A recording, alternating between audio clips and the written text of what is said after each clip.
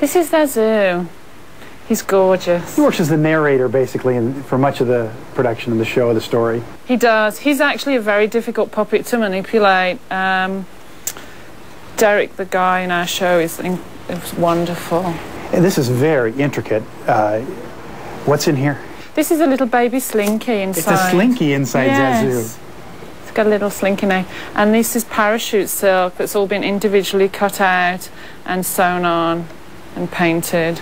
Let's show Scar here. This is the evil, uh, the evil lion, and it's it's more than a mask. It's actually electronical. It has, it has some expression as it moves during the show, doesn't it? That's right. This is um, one of the more intricate pieces in the show, and all this complete unit, these servo units, are disguised under his body, and this is the finger control that he wears to manipulate the mask.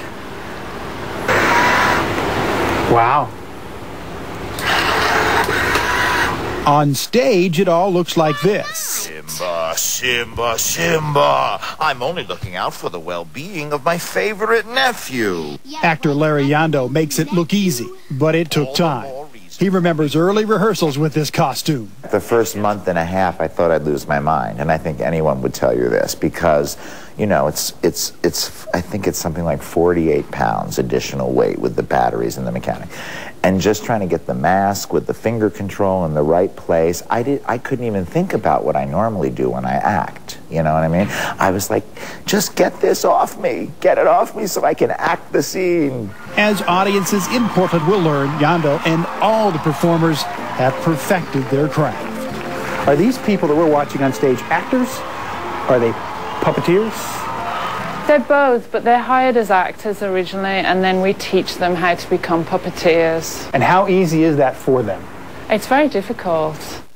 There's more work behind the curtain. The set for The Lion King is huge, but where does it all go backstage?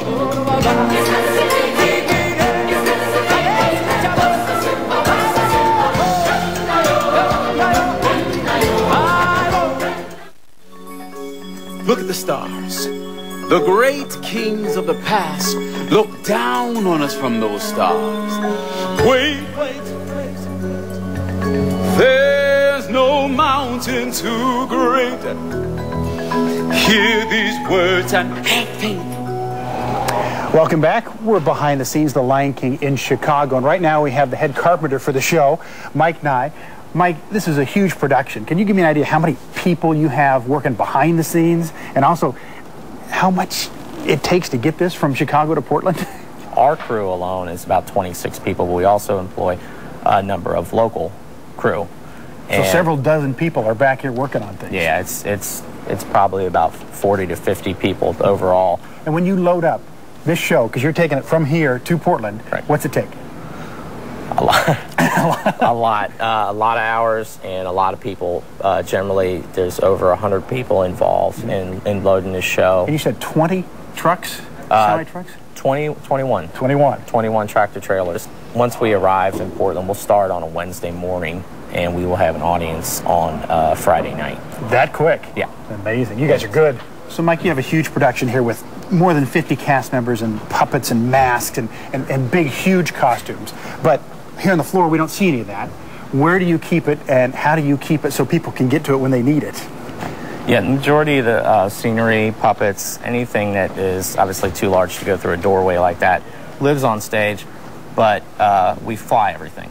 So fly as in yeah. store above our heads. Yeah. The elephant graveyard I can see over my head. There's a big elephant over there. There's several gazelles on a, on a mechanism up there, and the wildebeests are right. stored a, a, a, across the uh, the back on some racks.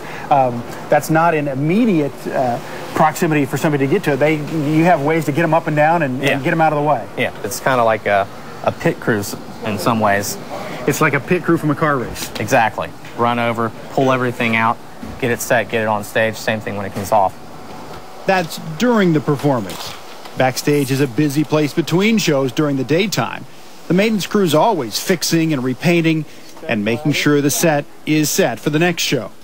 And the Lion King production employs several full-time sewers who repair all the costumes and a laundry person running loads all day to keep them all clean.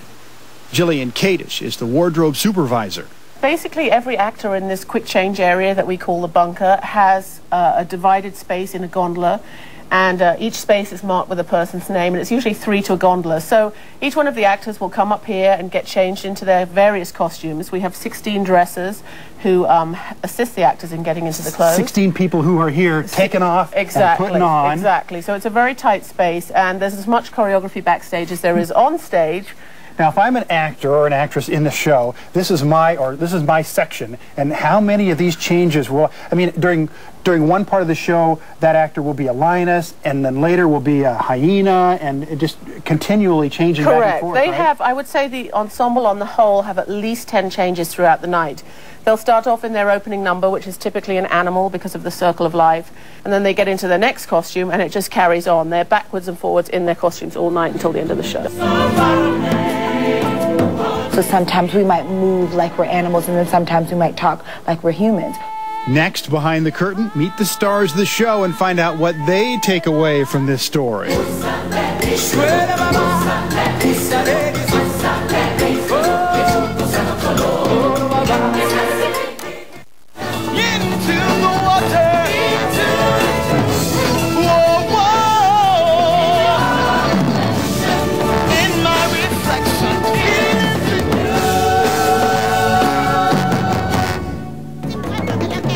Wallace Smith plays the maturing Simba in the Lion King's touring cast that comes to Portland this week.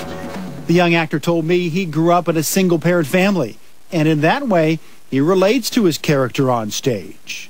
And I think for Simba, because he has his father and then his father snatched away from him, I think that's about the equivalent of growing up. He does grow up without that guidance, without that leadership.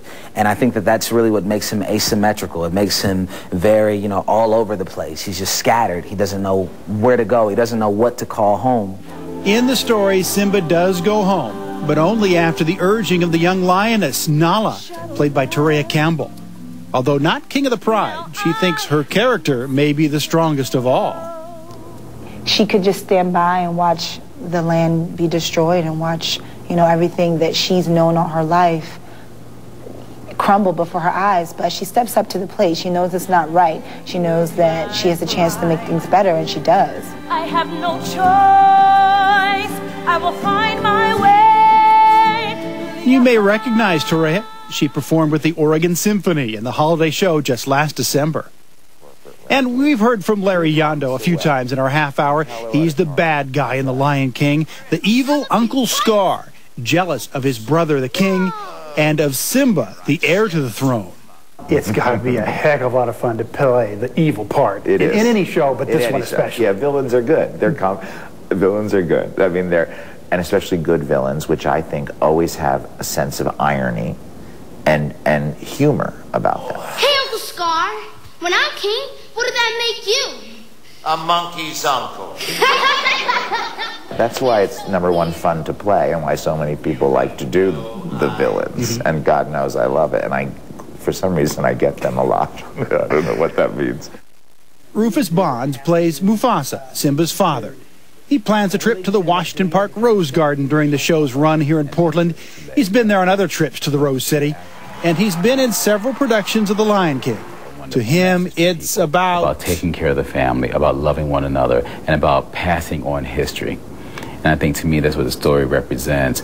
And to me, I think people get that, so they walk away with something triggered inside of themselves about their fathers, about their family, about what they should do or should not do. So, whenever you feel alone, just remember that those kings will always be there to guide you. when we come back, how you and your family can enjoy The Lion King when it starts its run in Portland this week.